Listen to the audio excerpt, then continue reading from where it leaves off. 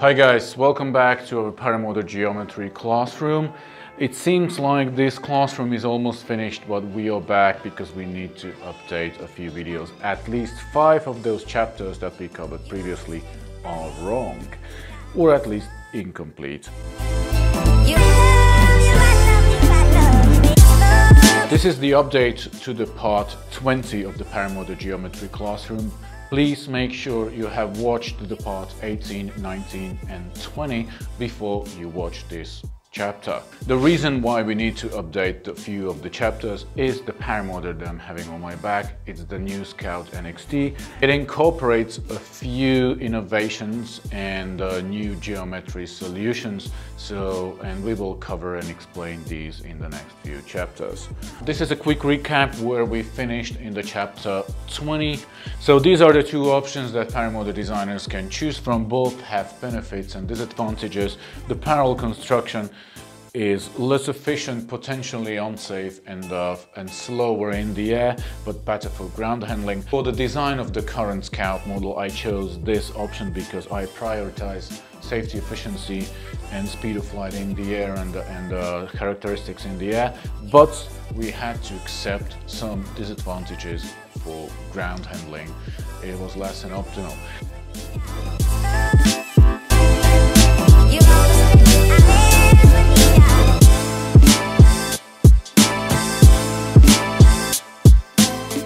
I was always thinking about whether we do have to accept these disadvantages, whether there is a solution that could have the benefits of both concepts without the disadvantages that they come with. One solution is basically to detach the harness at the bottom, that is, to increase the gap get uh, get the harness away from the paramotor, which would mean that it is kind of the parallel construction for ground handling. Great.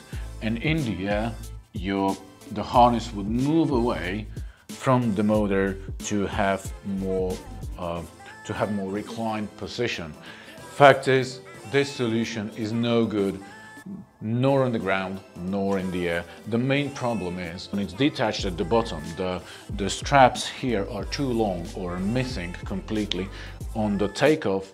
In the final phase of the takeoff, when you go on full power, the torque would simply twist the motor on the back and the motor is, the, the whole frame is kind of detached from the pilot's body. There's less feedback from the glider, less feedback from the motor, and it just doesn't feel very well. Same in the air, if you add throttle quickly, the motor is just not a unison with the pilot uh, which it definitely should be. But I finally found the solution, and that is the harness remains attached to the frame, but the frame changes the geometry. The solution is called variable frame geometry.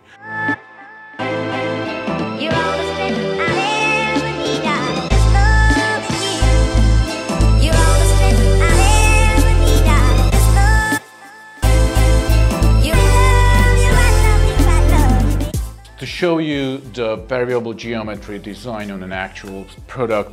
This is the Scout NXT, this is the new model. And uh, let me show you how the variable frame geometry works in real. This is the new model, the Scout NXT. You see the bottom part moves and changes the angle. Pushing it back with my butt, this is the position for take for ground handling and takeoff. The back is nicely parallel with the prop, good position, good view into the glider, great ground handling, easy run. Right after takeoff, as the, as the risers pull the bars upwards, this gonna happen.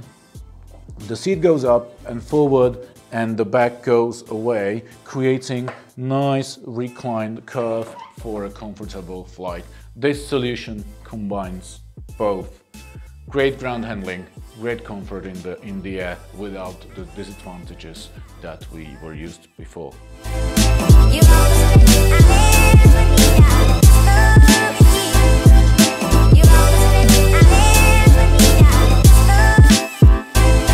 I got this idea on a flight from Dubai to Bratislava three years ago and actually this geometry is pretty much the same as on the seats of the Airbus 320. So to make a final summary and comparison, these are the two solutions that we covered previously in the part 20. Parallel frame ideal for ground handling, not so much in the air. Built-in angle, just as on just as I used on the Scout one, ideal in the air, not not ideal on the ground.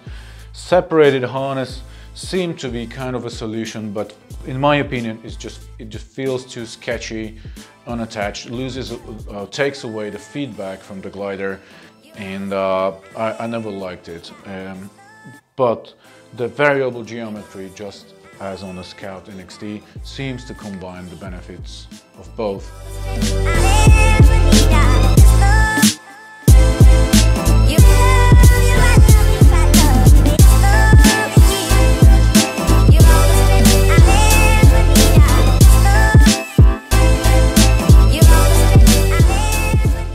This Scout NXT has a lot more features that are brand new and innovative. So stay with us. In the next chapter, I want to explain completely redesigned harness like no other.